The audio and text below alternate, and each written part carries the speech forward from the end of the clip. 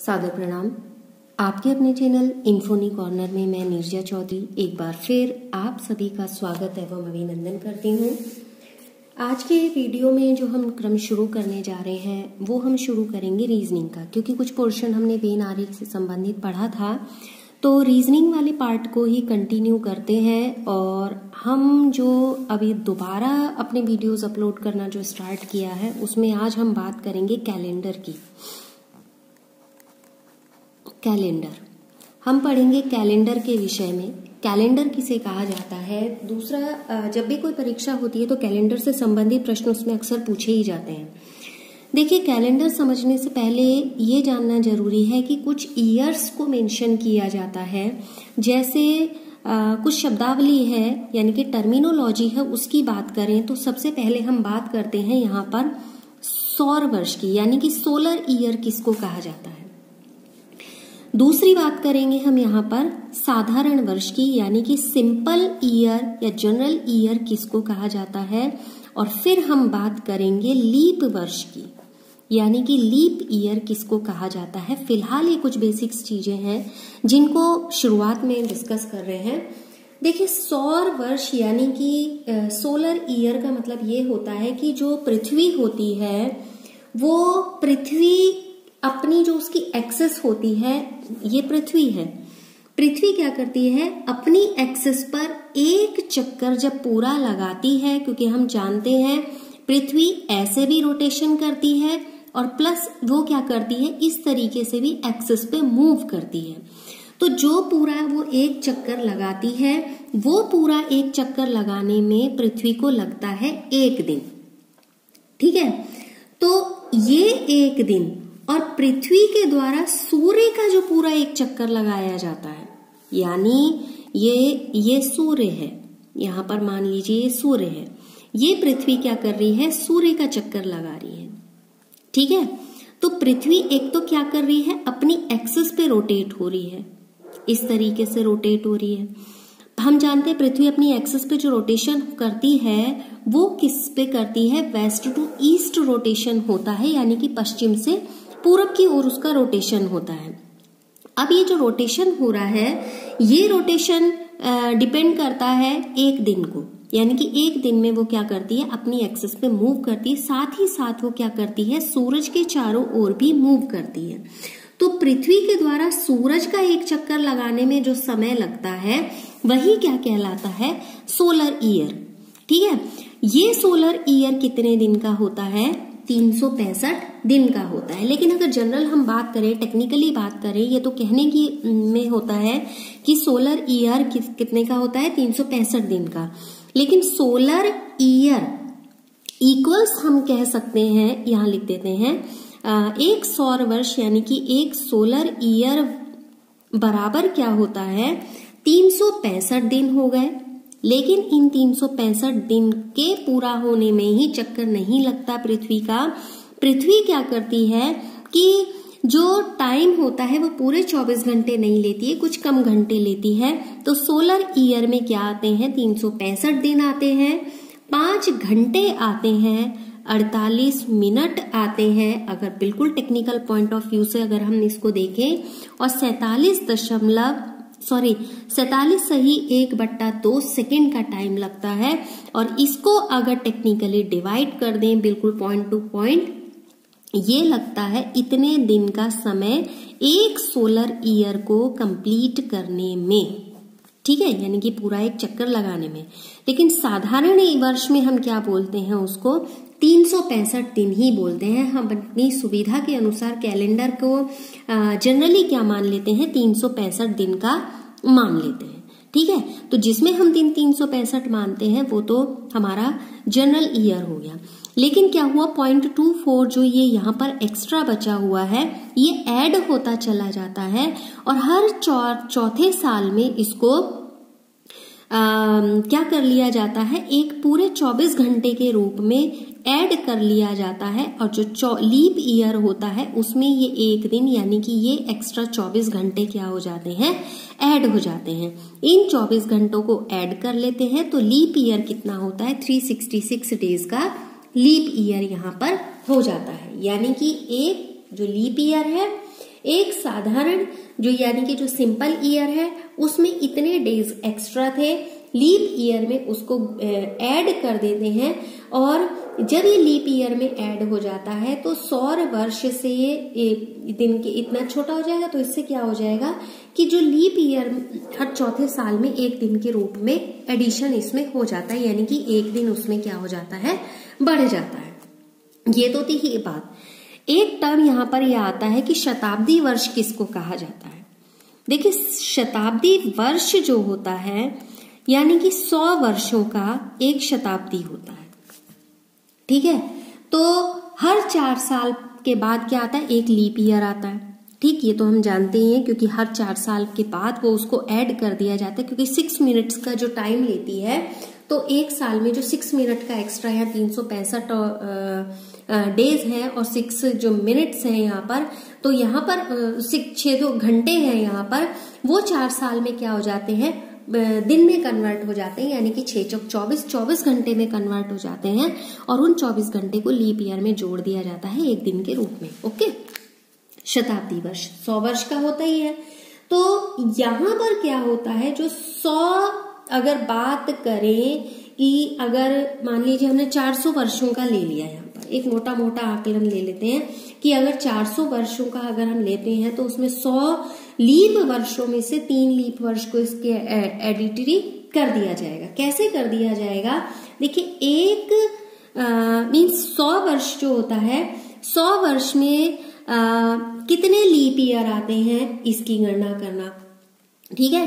हर चार साल बाद के के बाद, यानी कि हर चौथा साल क्या होता है? लीप ईयर होता है। अब एक प्रश्न यहाँ पर देखिए, क्या आता है कि अगर हमें लीप ईयर जानना है कि कौन सा वर्ष लीप ईयर है तो ये जानने के लिए सीधा सा तरीका है, जो भी सन हो, मान लीजिए वर्ष 2011 है, इसको हम चार से डिवाइड करें।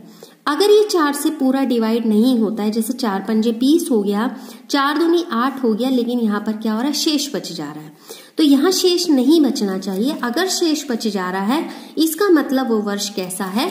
साधारण ईयर है, जनरल ईयर है। ठीक है? अब जैसे 2016 की बात कर ले। पाँच से, चार से हम डिवाइड करते हैं तो चार पंजे बीस और चार चौक सोलह। ये चार से पूरा डिवाइड हो जा रहा है तो जो वर्ष चार से पूरा डिवाइड हो जाएगा, वो हमारा क्या होगा? लीप ईयर होगा। ठीक है? अब बात आती है कि एक टर्म आता है बार बार कि विषम दिन किनको कहा जाता है। देखिए, विषम दिन वो दिन होते हैं, हम जानते हैं सप्ताह में कितने दिन होते हैं? सात दिन होते हैं। ठीक? मंडे हो गया, यानी कि सोमवार ट्यूसडे हो गया वेडनेसडे हो गया थर्सडे हो गया फ्राइडे हो गया सैटरडे हो गया और संडे हो गया। सेवन ईयर होते हैं, सोमवार, मंगलवार, बुधवार, बृहस्पतिवार, शुक्रवार, शनिवार और रविवार। ये सात दिन मिलके क्या बनाते हैं? एक सप्ताह बनाते हैं। ठीक है? अब ये सप्ताह बनाते हैं। इसमें अब एक टर्म आता है कि विषम दिन किन्हें कहा जाता है। उस विषम दिन को समझने के लिए मान लीजिए हमने इनको नंबरिंग कर दी है। हमने कहा कि जो भी विषम दिन की संख्या ज्ञात करनी है one two three four five six हमने कर लिया। कैसे समझेंगे कि एक क्वेश्चन ले लिया हमने कि माना कौन सी डेट ले लें? 25 अगस्त 1990 जो फोर है, उसको मंडे है। ठीक है? हमें क्या बताना है कि अब आप ये बताइए कि 25 अगस्त उन्नीस को कौन सा दिन होगा? ठीक है? सात दिन होते हैं, ये हमें पता है।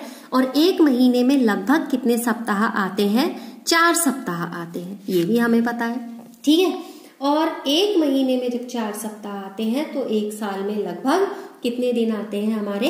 बावन सप्ताह आते हैं टोटल अब बात करें, चलिए वो भी छोड़िए। हमने कहा कि अगर हमें एक वर्ष दिया हुआ है और उस वर्ष के अनुसार हमें किसी दूसरे वर्ष की दिन बताना है तो देखिए जनरली क्या होता है, जो हमारा ईयर स्टार्ट होता है, वो एक जनवरी से स्टार्ट होता है और वो हमारा समाप्त होता है इकतीस दिसंबर तक।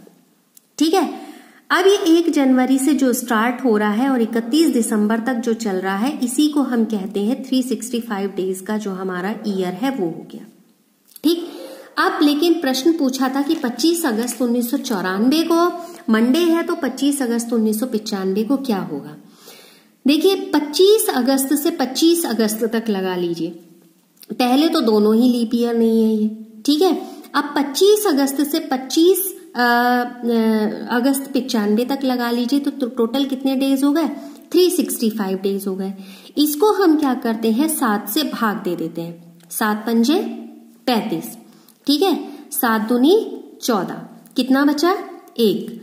ये जो एक बचा है यानी कि भाग करने के बाद जितना यहाँ पर रिमाइंडर रहता है वही क्या कहलाता है? यहाँ पर विषम दिन। और ये कौन सा विषम दिन होता है? प्रश्न में पूछा कि 25 अगस्त उन्नीस सौ चौरानवे को मंडे है तो 25 अगस्त उन्नीस को क्या होगा? कितना दिन बचा? एक दिन बचा। विषम दिन बचा। अब इस विषम दिन में हम क्या काम कर लेंगे? जो यहाँ पर है, जो दिन पूछा है, उसको हम शून्य जो दिन दिया हुआ है, उसको हम शून्य मान लेते हैं। One, two, three, four, five और सिक्स इसको नाम कर देते हैं। विषम दिन कितना बचा? एक। तो एक बचा तो एक किसके नीचे है? ट्यूसडे के नीचे। तो यानी कि 25 अगस्त उन्नीस को क्या होगा? ट्यूसडे मंगलवार होगा। ठीक है? एक और प्रश्न निकाल लें इसमें से संबंधित कि हमें दिन निकालना है। अभी तो ये एक वर्ष का गैप था। एक और क्वेश्चन अगर चेंज करते, मान लीजिए फाइव अक्टूबर 2014 को संडे। ठीक है? तो हमें क्या बताना है फाइव अक्टूबर 2017 को कौन सा दिन होगा? देखिए जो भी अभी हम गैप हो गया है यानी कि 15, 16, 17 थ्री आफ्टर थ्री ईयर की गैपिंग पे हमें डे बताना है। पहले तो हमें ये देखना पड़ेगा कि इनके बीच में कोई लीप ईयर तो नहीं है ठीक है? अब इनके बीच में लीप ईयर है या नहीं है ये चेक करना पड़ेगा। इनके बीच में अभी हमने एक रेंडमली सॉल्व किया था तो 2000 जो 16 है, वो लीप ईयर आ रहा है।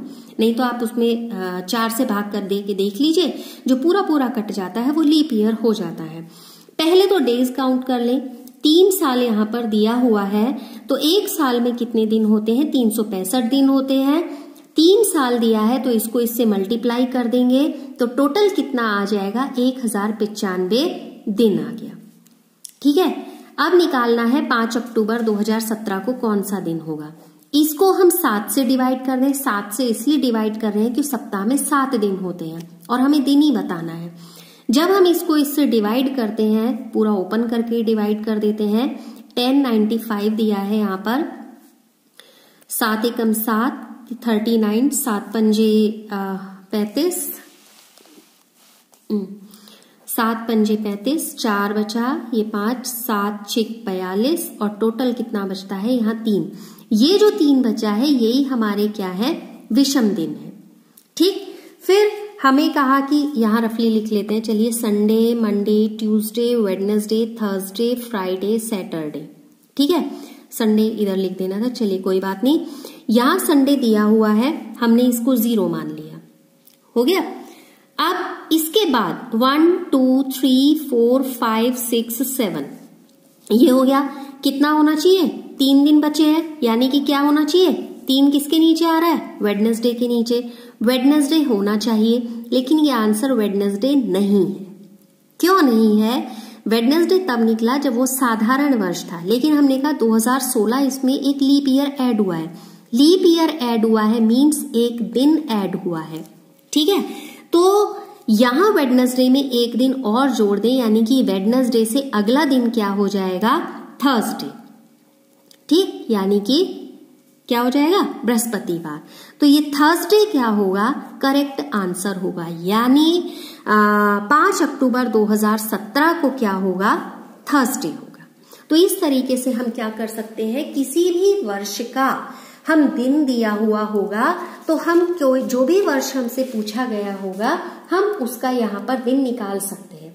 जैसे एक और चीज़ यहाँ पर ऐड करें, कई बार जो अंतर दिया होता है वर्षों में 400 400 साल का 200 300 साल का अंतर दिया होता है। तो देखिए, एक छोटा सा सिंपल सा तरीका है, जिसे याद किया जा सकता है। अगर 100 वर्ष का गैप दिया है तो उसमें कितने विषम दिन होंगे? पाँच। ठीक है? सौ वर्ष का गैप दिया है तो विषम दिनों की संख्या होगी पाँच। 200 वर्ष का यदि गैप यहाँ पर दिया है, विषम दिनों की संख्या होगी तीन। यहाँ पर गैप 300 वर्षों का दिया हुआ है तो विषम दिन कितने होंगे? एक। और अगर 400 वर्षों का यहाँ पर गैप दिया हुआ है तो विषम दिनों की संख्या क्या होगी? शून्य। यानी कि 400 पे ज़ीरो फिर नीचे से अगर आप ऊपर देखें तो भी देख सकते हैं ज़ीरो एक तीन और पाँच यानी कि 400, 300, 200 और 100 या आप इधर से पाँच तीन एक ज़ीरो। तो ऐसे आप अगर ये एक तर, अगर इनको याद कर लें तो मान लीजिए 400, 500, 300 इन वर्षों का दिया हुआ है तो हम वहाँ विषम दिनों की संख्या डायरेक्ट यहाँ पर निकाल सकते हैं। तो इंपॉर्टेंट है इससे संबंधित प्रश्न अक्सर पूछे ही जाते हैं। अगले क्रम में और अगले वीडियो में और कंटिन्यू करेंगे इसे। तब तक के लिए फ़िलहाल इतना ही, और प्रैक्टिस करते रहिएगा। जल्दी मिलेंगे आपसे अगले वीडियो में। लगातार साथ बने रहिए इन्फ्यूनी कॉर्नर के साथ बने रहने के लिए, हमारा साथ अभी तक प्लेटफॉर्म पर इस यूट्यूब के निभाने के लिए आप सभी का एक बार फिर बहुत बहुत बहुत धन्यवाद। कुछ नए क्रम है, जिन क्रमों को लेकर आते जाएँगे और योजनाएँ, रचनाएँ आपको क्या हमने बनाई हैं, वो अगले वीडियो में आपसे डिस्कस करेंगे। तब तक के लिए आप सभी का बहुत बहुत बहुत धन्यवाद।